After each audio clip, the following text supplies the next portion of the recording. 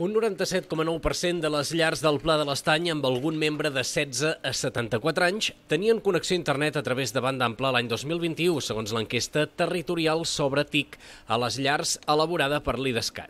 El percentatge la situa com la segona comarca del país en el rànquing, només per darrere de la Conca de Barberà amb un 98,1% i empatada amb la Selva. L'objectiu principal d'aquesta enquesta és obtenir estimacions territorials dels indicadors més importants d'equipament de TIC a les llars i de l'ús que en fan les persones. Quan a les dades del Pla de l'Estany, aquest 97,9% de llars amb connexió a internet de banda ampla suposa un increment del 2,2% respecte a l'anterior edició de l'enquesta, el 2019.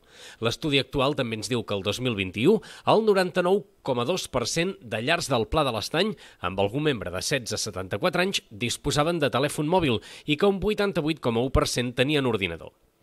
Un altre dels aspectes que s'ha estudiat és la proporció de llars catalanes que tenen incidències amb el seu proveïdor del servei d'internet i que ha disminuït a Catalunya. Al Pla de l'Estany, el percentatge se situa en el 30%, un 2,4% menys en relació amb dos anys enrere i molt lluny del Pallars Sobirà, que encapçala el rànquing amb un 40,4%. Pel que fa a l'ús d'internet, el 96,2% de les persones de 16 a 74 anys del Pla de l'Estany l'han utilitzat en els darrers tres mesos, una xifra superior al del 2019, que era del 92,1%. Per últim, l'enquesta també es fixa en les compres per internet, que han experimentat un clar creixement. El Pla de l'Estany n'és una evidència.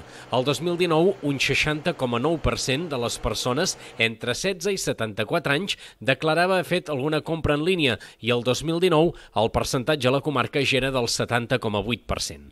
La comarca...